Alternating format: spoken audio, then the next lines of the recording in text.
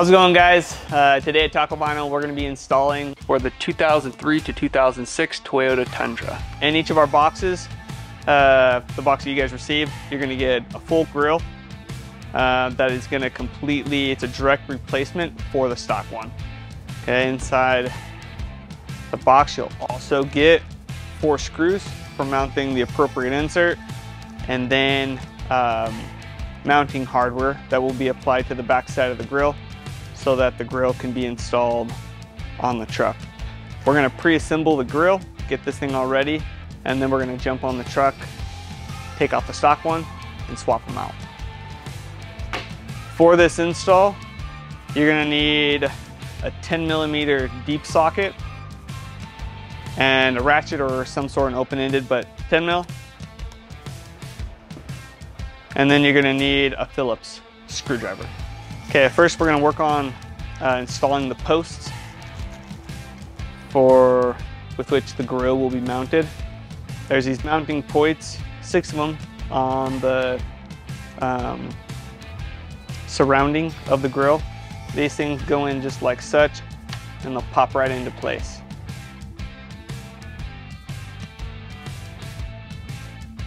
Got your six posts in. Now, now you're gonna install your insert you can get these inserts colored, uh, all black um, on our website, so you don't have to go with the standard gray one. We will also be offering them in a color matched version like this, so the letters will be the same color.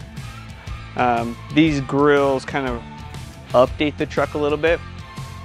We will be offering them in a color matched version because in these older vehicles, some of the trim pieces were color matched um, depending on the trim model. So we will also be offering this in such a fashion as well. So then with your Phillips, you're gonna install your insert.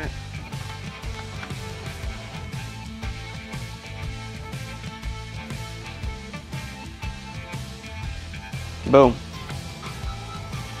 Our grill is ready to go. Now we're gonna set this aside and we're gonna jump on the vehicle pull towards you, comes up. Okay, grill is actually assembled to the hood. On the back side, you're gonna see those six posts and then the latch that we're gonna be transferring onto the new grill. So the first step is we're gonna uh, leave the latch connected right here, but we're gonna disconnect it up here. What you're gonna wanna do is press this pin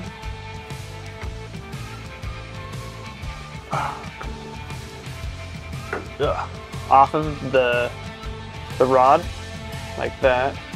Press it away. Then this thing will just come out just like that.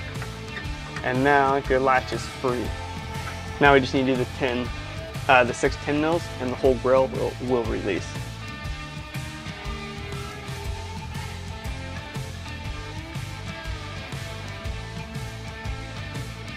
Cool, we got our six bolts, or our six nuts off. Now the grill is just a simple lift off and we're good to go. There is one piece that is rather challenging to remove and remount. Some of them are they're so deteriorated that uh, deteriorated that they won't even um, you won't be able to pull these off. We got lucky on this one. It actually came off. It was missing part of it, but thus it came off of this little trim piece. We'll set that aside, pull this back in here. Okay, we need to remove this latch. You're gonna use your 10 millimeter again.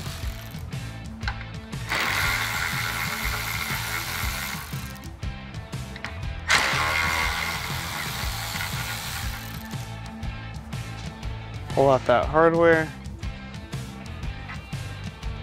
The whole latch will come off. Be careful uh, to not break any of these plastic clips. And then literally just how it was mounted here, we're gonna transfer it and mount it onto the new grill. Okay, so you're gonna use the, the 10 millimeter bolts. Make sure this thing's all seated properly.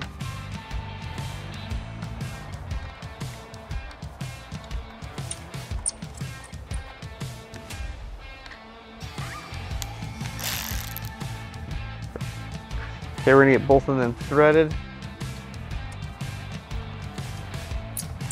Always hand thread everything before you use a hand tool so that you don't strip it. Uh,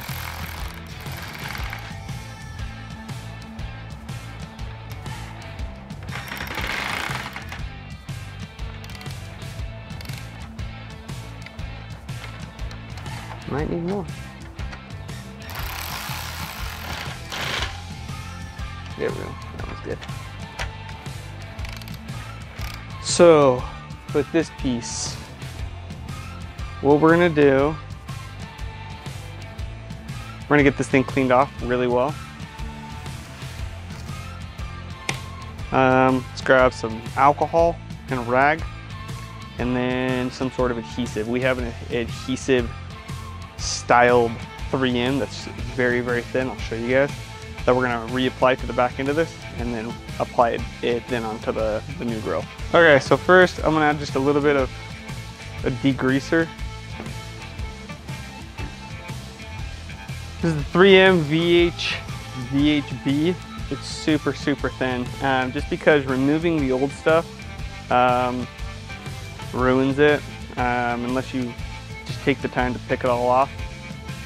Best to do is to clean it all off to where it still uh, it becomes a slightly tacky again. And then we're gonna apply some ultra thin stuff like this. What you wanna do, my 3M's a little bit thicker, which is all right. Um, we're gonna cut it off and then uh, you wanna follow exactly where that line is from the previous adhesive.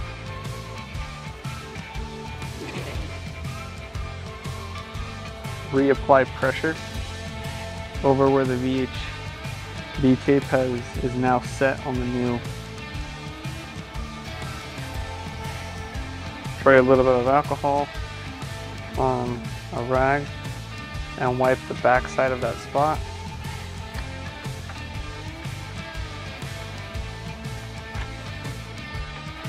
We want to make sure nothing, no oil or residues on there. Now this one did break on this side.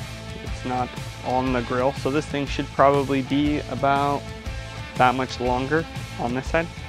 That's okay. This is what we have to work with with the age of the vehicle, which is perfectly fine. Now this is gonna lay right here. We're gonna do a little preliminary lay. And then you can see this is gonna curve and then touch down right there.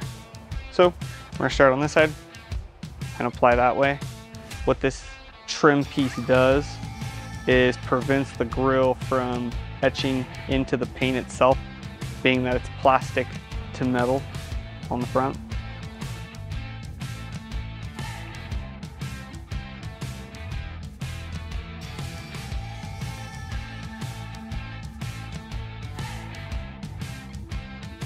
Okay, the whole time I was using the uh, front lip of the, uh, there's like a little there's like the flat part and then there's like a, a ledge that kind of hooks over the edge just slightly uh, to give that trim piece kind of a, a, guidance when you're laying it down if you uh, choose to do so. So now that we get that all on, um, the other thing that I would test before you install, just make sure your screws are in good, good working order and that they're gonna fit on the posts. And that the posts don't have any defects and then you get halfway through and have to undo all of them. Kick the grill over.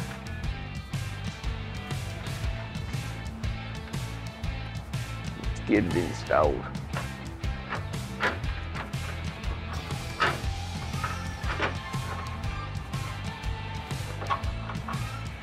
We had a straggler.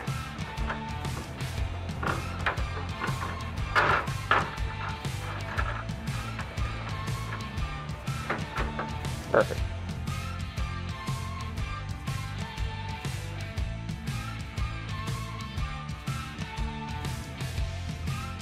Okay, so on this part, I'd be careful. Uh, you don't want to go too far on your tightening. Okay, last part of the install is getting the rod. And then you're gonna snap that back up. Oh, fingers. I'm not a strong man, you guys. I'm not a strong person. There we go. Then double check your last work. Sure it works straight.